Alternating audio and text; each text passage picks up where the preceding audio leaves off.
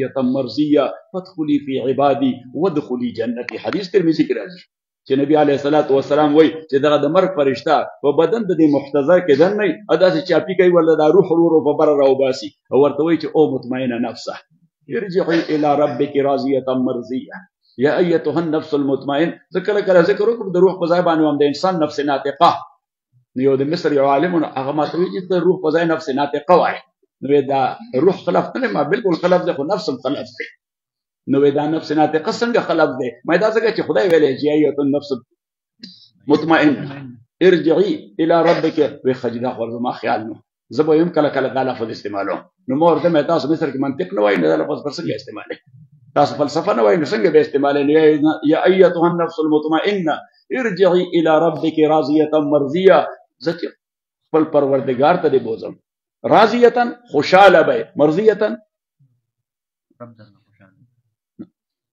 ما ته ته ویلي ته مولای د امي په شان خبرې باندې کوي عوام چې داسې خبره کوي دا هم معذور دي ته به د مولا اصطلاحات او اطلاقات کې راضیتن خوشالي دن کې به مرضیتن خوشاله کړي شوی به ته به خوشاله کړي شي نو دا خوشاله کړي شي معنا دا ده یو خدا ده چې یو سړی ته د هغه ملمشي او هغه تعالی چای راوړي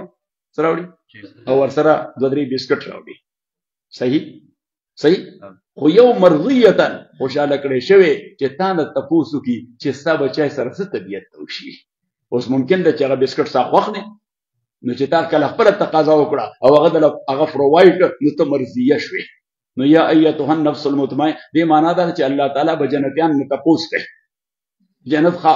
خدام اب تپوس کوي جنتیان نه تاسو به غرمه سزړ ته وشي صحیح نو هر چا چې خپل کومه تقاضا یې سو ګورته شي که ساګ دې پوخ کړ ډېر بخي سو ګورته یې کوخه دې پخ کړ ډېر بخي ازم په دې کلی کې او بابا او ناغما ته قاضي صاحب ما ها